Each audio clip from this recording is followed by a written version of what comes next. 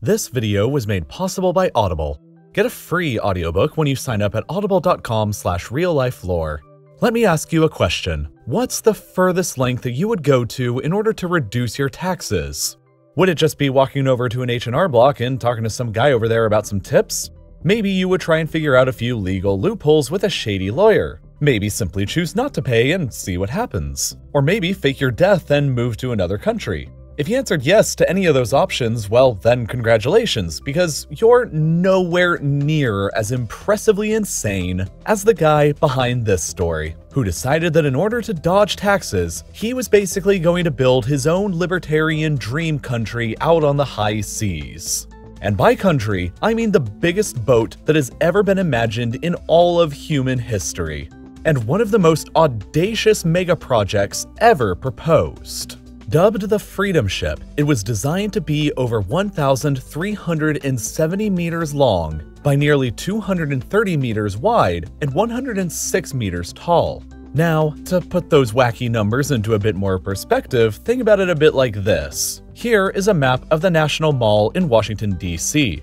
Starting at the steps of the US Capitol, the Freedom Ship would stretch out nearly half of the distance to the Lincoln Memorial and it would take you about 12 minutes to walk across it. Then, if you knocked over the Space Needle in Seattle and put it sideways, the Freedom Ship would still be wider. And then, if you put the Statue of Liberty right next to it, the Freedom Ship would still stand taller.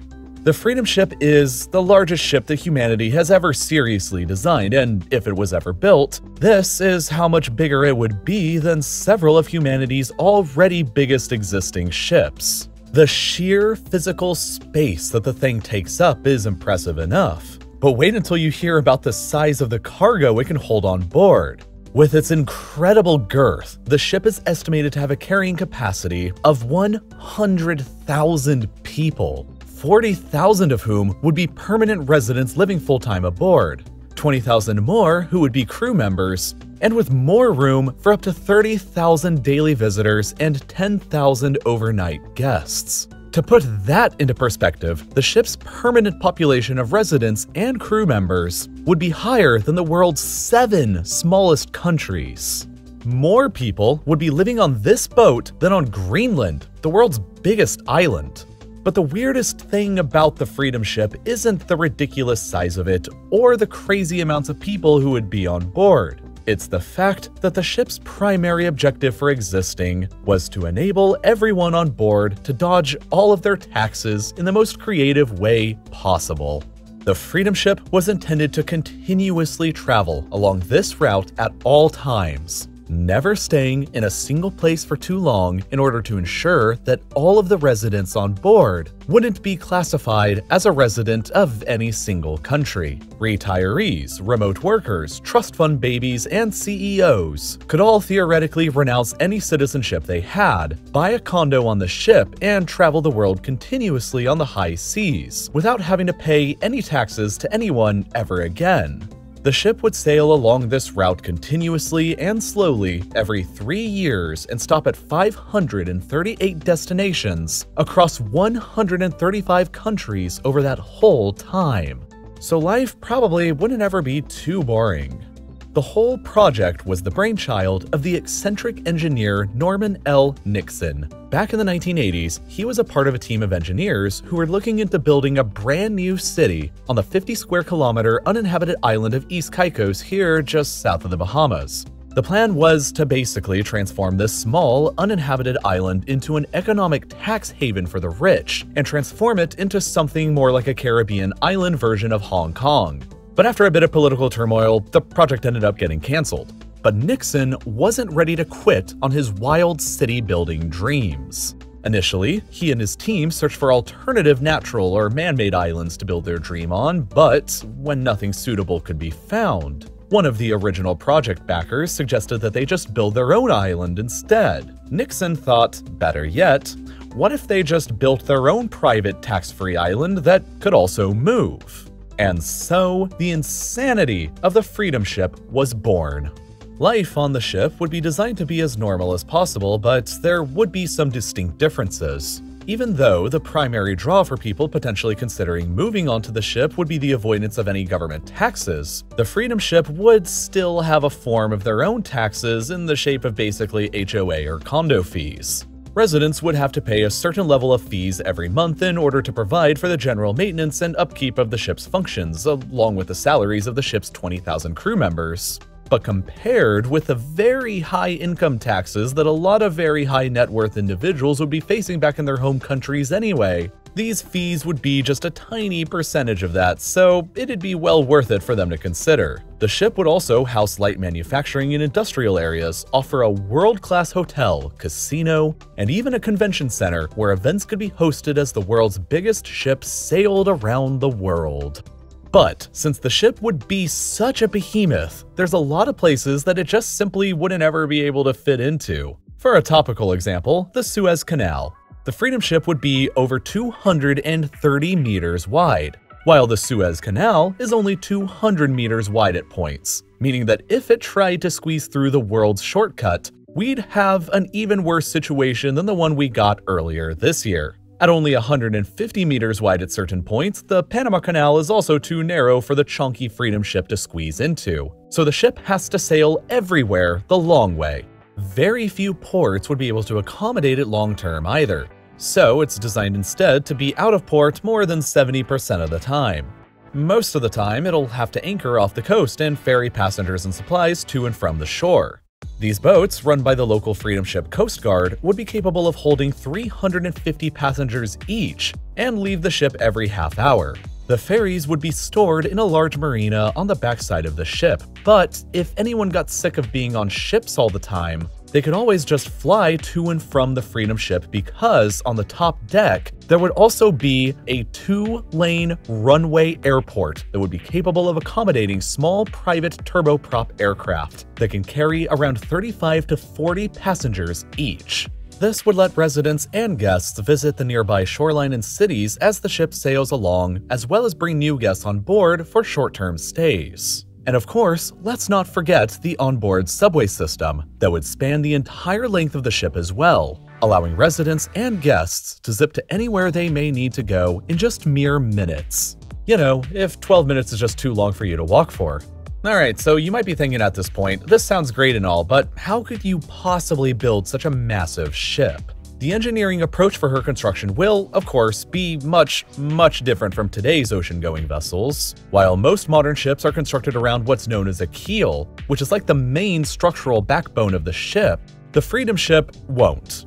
The Freedom Ship will be constructed of large, airtight steel cells that can be assembled on the shore and then bolted together once floated out to sea. It's sort of like Legos, but scaled up to full-size shipbuilding. The ship was also designed to be equipped with 104,000 horsepower diesel engines for powering the Colossus across the world. The only problem is, is that nothing to this scale has ever been built before. Yeah, it's technically feasible to do it and build it, but the question is, would it really be worth it? Norman Nixon passed away some time ago, and the Freedom Ship project has been trapped in development hell ever since it was first proposed back in the 1990s largely over how ludicrously expensive it would be and a lack of interest or trust from would-be investors. The estimated price tag, you ask? A cool $10 billion. And that's just to get the thing out to sea, not factoring in operating, maintenance, or crew costs to keep it there. $10 billion, for reference, is about two and a half times the cost it took to construct the Freedom Tower in New York City, the tallest skyscraper in the Western Hemisphere. Finding any kind of detailed information or data on this project online has been incredibly difficult as it is, so honestly, it would probably be even worse than that. When the United States government began construction on the Big Dig Highway project in Boston, they estimated that the initial cost would be approximately $7.4 billion in today's money but 11 years behind on schedule when the project was finally completed, the price tag stood at $21.5 billion instead, a cost overrun of 190% beyond the initial projected estimate. Massive construction projects run late and run over budget all the time. And while governments can often afford them, investors and private companies hoping to make a quick profit are generally scared away from them. And a giant ship the size of a country with an airport, a subway system, and thousands of condos just screams that it'll take longer and cost more than anybody estimates it would. Technically, the Freedom Ship still is an actual planned thing under a new owner and project manager, and their website claims that 150,000 people are interested in purchasing a condo on board the ship once it's completed. But that doesn't really mean anything. Over 25,000 people signed a petition stating their interest in the US government building a Death Star too and 107,000 people just told me in one of my polls from last month that their favorite small town in the US was Ding Dong, Texas. So polls don't really mean a lot on the internet. For now, the free floating city on the biggest ship ever designed, traveling around the world with tens of thousands of obscenely rich residents, dodging taxes with tens of thousands more working class crew members on board, remains a blueprint. A plan waiting to be carried out whenever the possibility arises. If it ever does become a reality in the not so distant future, though, whoever builds it will have to work extra hard to not make it seem like a real life dystopian science fiction story. We already have plenty of those. Like Artemis by Andy Weir, a story about humanity's first city on the moon that, as it happens, is one of the many amazing audiobooks you can listen to for free right now on Audible. Just like he did with his previous book, The Martian, Andy Weir wrote Artemis with extensive research, detail, and care towards the real life physics and logistics that a hypothetical city on the moon would require. And because of that, the story's plot and world building feels real, and is a super interesting view into what life on the moon could end up being like in the future. Now, I'm sure you've probably heard all about Audible by now, but I've been an Audible member for years now because they keep expanding their selection in fantastic new ways.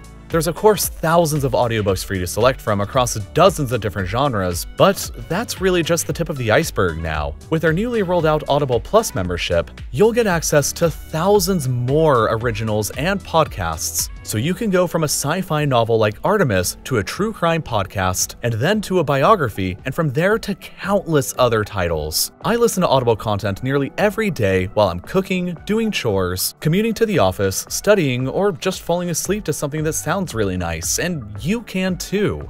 But best of all, you can get any audiobook you want out of their thousands of titles completely for free and get a 30-day free trial as well by going to audible.com slash reallifelore, clicking the link in the description, or by texting real life lore to 500 500. You can get something really cool for free, and you get to support real life lore at the same time. And as always, thank you so much for watching.